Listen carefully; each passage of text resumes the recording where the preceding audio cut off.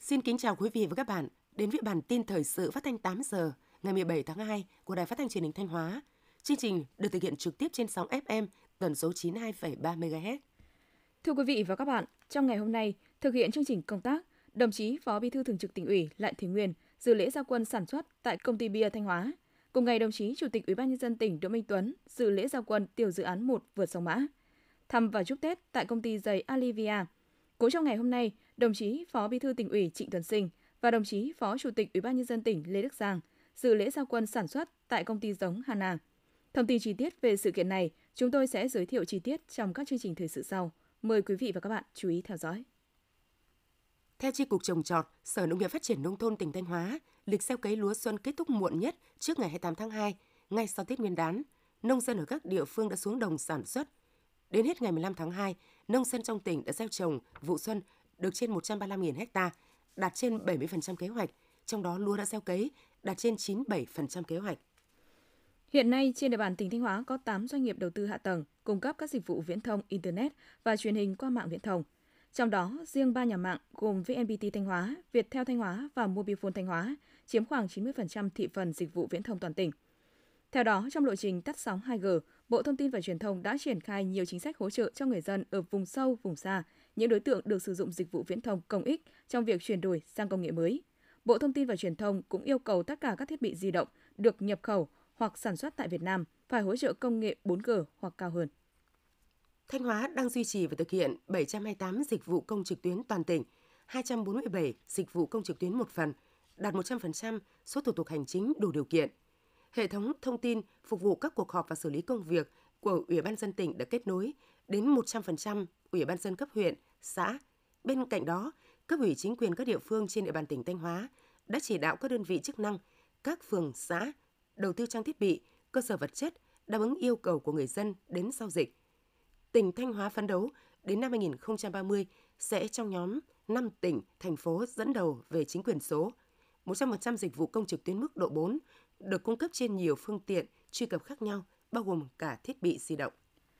Thanh Hóa có trên 1.500 di tích lịch sử văn hóa. Những ngày sau Tết, nhiều địa phương trên địa bàn tỉnh tổ chức lễ hội xuân, thu hút người dân đến tham quan. Để đảm bảo an ninh trật tự, trật tự công cộng dịp lễ hội đầu năm, Công an tỉnh Thanh Hóa đã bố trí lực lượng chủ động phòng ngừa, đấu tranh chấn áp tội phạm, bài trừ các hủ tục mê tín dị đoan. Tại khu vực tập trung đông người, ban quản lý di tích đã lắp đặt thiết bị camera để theo dõi, giám sát, đề phòng các hành vi trộm cắp, móc túi. Bên cạnh đó, huy động lực lượng công an xã, phường, thị trấn, bố trí lực lượng hóa trang mật phục kết hợp với công khai, làm tốt công tác tuần tra, kịp thời phát hiện, ngăn chặn các hành vi gây mất an ninh trật tự. Để chủ động ứng phó với những thách thức về dịch bệnh năm 2024, Sở Y tế tỉnh Thanh Hóa yêu cầu hệ thống y tế dự phòng củng cố nâng cao năng lực của hệ thống phòng chống dịch từ tỉnh đến địa phương, chuẩn bị đầy đủ vật tư hóa chất thuốc, trang thiết bị, cơ sở vật chất sẵn sàng cho phòng chống dịch bệnh, tăng cường truyền thông, giáo dục sức khỏe, phổ biến kiến thức về các biện pháp phòng chống dịch bệnh cho nhân dân, phối kết hợp với hệ thống lâm sàng để giám sát chặt chẽ các ca bệnh, sử dụng tốt phần mềm giám sát, quản lý bệnh nhân, sẵn sàng thu dung, cách ly, điều trị bệnh nhân. Trong số gần 60 bệnh nhân lao đang điều trị tại khoa nội 1 Bệnh viện Phổi Thanh Hóa, có tới 6 bệnh nhân lao kháng thuốc.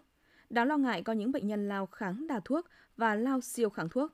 Năm 2023, Bệnh viện Phổi Thanh Hóa đã phát hiện điều trị cho gần 1.700 bệnh nhân mới mắc lao. Trong đó có 60 bệnh nhân lao bị kháng thuốc. Bệnh lao do vi khuẩn lao gây ra, người mắc bệnh dễ lây vi khuẩn sang người khác khi khạc đờm, ho hoặc hắt hơi. Người lớn và trẻ em đều có thể bị mắc bệnh lao. Khi cơ thể có các biểu hiện như ho khạc kéo dài trên 2 tuần, có thể xuất nhẹ về chiều, ăn không ngon miệng, gây sút cân, tức ngực, ho ra máu, cần đến các cơ sở y tế khám và điều trị bệnh kịp thời. Tiếp theo là phần tin trong nước. Thủ tướng Chính phủ Phạm Minh Chính vừa ký chỉ thị số 04 về việc tiếp tục đẩy mạnh triển khai đề án phát triển ứng dụng dữ liệu về dân cư, định danh và xác thực điện tử phục vụ chuyển đổi số quốc gia giai đoạn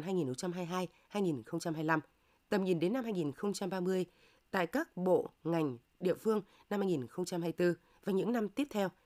Theo đó, Bộ Công an chủ trì tham mưu trình chính phủ,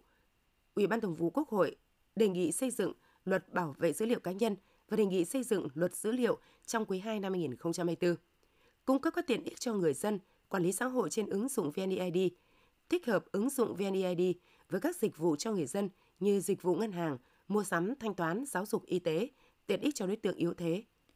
Theo đánh giá của Cục Viễn thông, Bộ Thông tin và Truyền thông, trong dịp Tết Nguyên đán 2024, lưu lượng cuộc gọi thoại của các doanh nghiệp viễn thông giảm. Tuy nhiên, lưu lượng dữ liệu mạng lại tăng mạnh so với cùng kỳ năm 2023.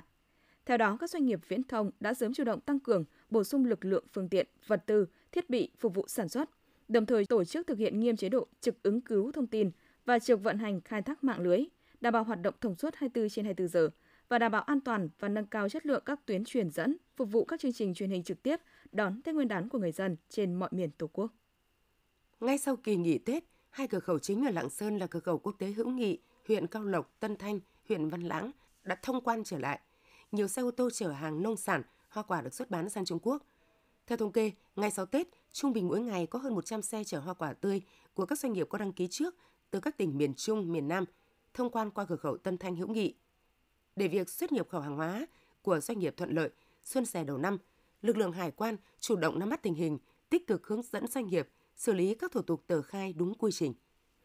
Dựa trên phân tích những yếu tố thuận lợi và khó khăn của kinh tế thế giới và trong nước, Bộ Nông nghiệp và Phát triển Nông thôn đã đề ra mục tiêu xuất khẩu nông lâm thủy sản năm 2024 là 55 tỷ đô la Mỹ. Cùng với thủy sản, nhiều loại nông sản cũng được dự báo sẽ tăng trưởng mạnh như cà phê, lúa gạo, rau quả, tôm. Các mặt hàng sắn, điều tiêu cũng đang tăng trở lại.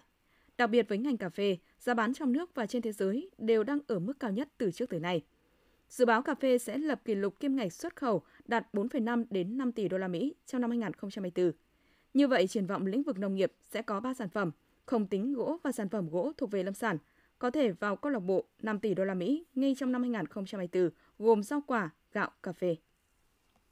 Theo Tổng thư ký Hiệp hội Phân bón Việt Nam, nông sản xuất khẩu đang được giá, nhất là gạo xuất khẩu, nên nhu cầu mua phân bón để mở rộng sản xuất cũng tăng theo.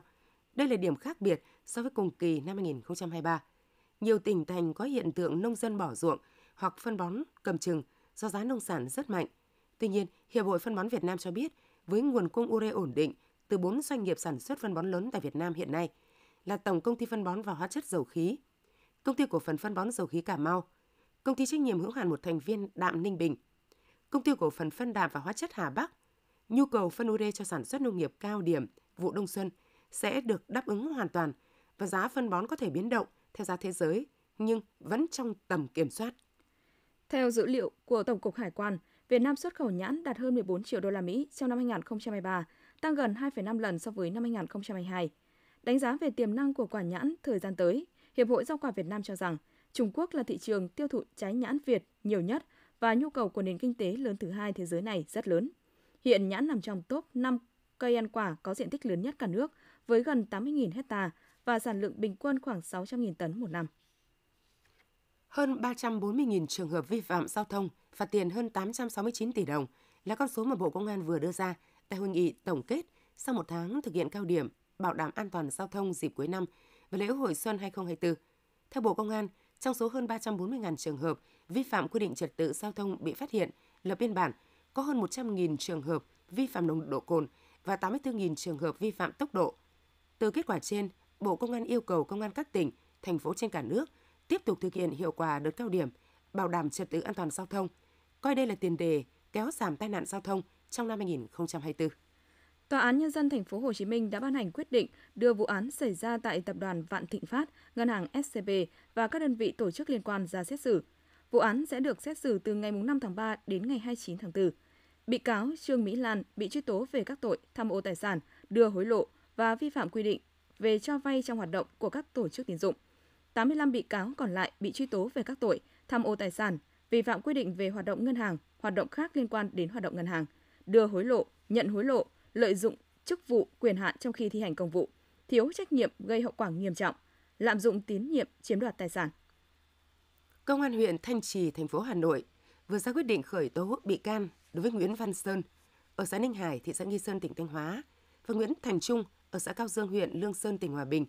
về hành vi lạm dụng tín nhiệm, chiếm đoạt hai xe máy, 50 lốp xe ô tô và 7 bình ắc quy mới chưa qua sử dụng, có tổng trị giá tài sản hơn 300 triệu đồng của công ty đóng trên địa bàn huyện Thanh Trì để tiêu xài vào mục đích cá nhân.